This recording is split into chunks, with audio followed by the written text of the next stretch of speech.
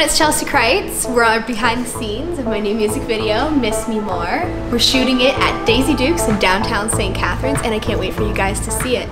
Keep your eyes open, it's coming out March 2018. I hope you love it just as much as I do.